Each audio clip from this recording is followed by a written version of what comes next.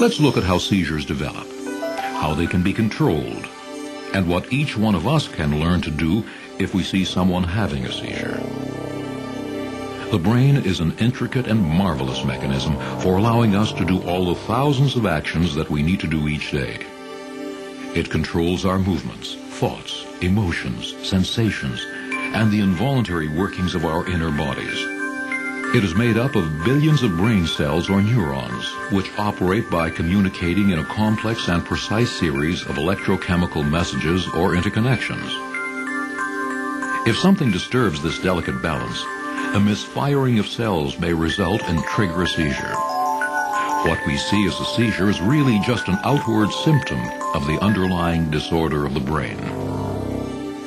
A number of factors can upset the brain's normal electrochemical balance. These primary seizure causes can include head trauma from traffic accidents, falls, excessively rough handling or shaking of infants, or other head injuries birth trauma, from problems surrounding birth, especially lack of oxygen to the brain. Biochemical imbalances resulting from poisoning, drug and alcohol overdoses, blood disorders, or nutritional deficiencies. Diseases, including certain degenerative, bacterial, viral, and parasitic types.